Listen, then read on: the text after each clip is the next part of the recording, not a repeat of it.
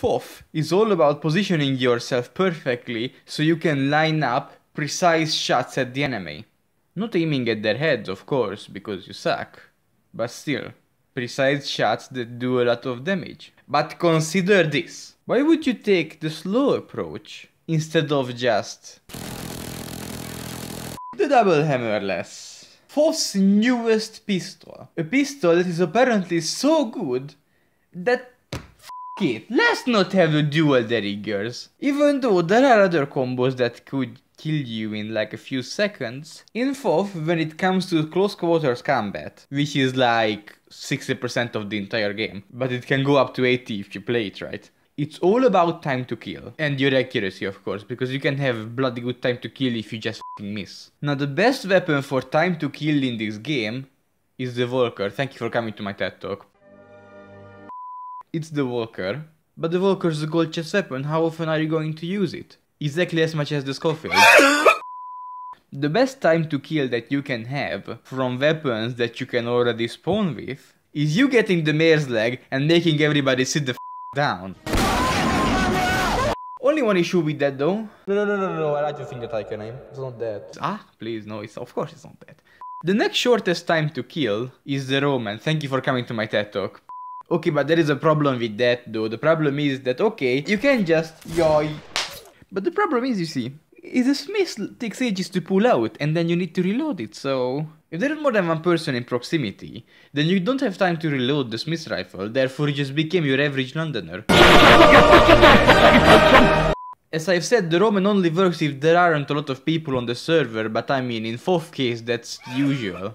So now, we arrive at the topic of the video. It's only been a few minutes after all. What is the shortest time to kill if you don't have any skills in aiming? It's time for the double mini pass dispensers, boys! The hammerlesses suck.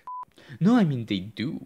Like, you have 10 bullets, but what you need to realize is that you need to also, like, reload those 10 bullets. So we are in Mare's Leg territory, but the Mare's Leg is good. The pass dispensers can only tickle their enemies to death. If, if you take a little look-see here, point blank damage. That is point blank damage, my guys. Now, of course, point blank damage means the ideal damage. Best case scenario. The one that is not going to happen. No problem, you have two of them and they shoot fast. Well, how you play it is, you get a double hammerless and secondary you get something that you don't need to pull out because like like the menu system doesn't suck in this game, but it's not great. Yeah, I don't think you're going to start like fondling the menu to pull like dynamite out or something. Can you even get dynamite? Uh, okay, you can. And, and then you get ambidextrous because like you have two guns. Like I mean, you could get like fanning, but like that's the whole point. That what the f are you fanning, mate?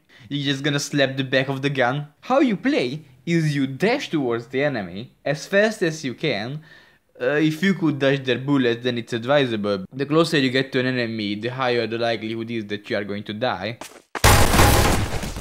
You get as close as possible, then you unload. Then you can do this twice and then you need to reload. You can surprise people from corners, but you can't corner jump with the hammerless. If you want to corner jump, then you need to use the new Roman. Now it's time for the montage where I will demonstrate that I, I truly, I truly can't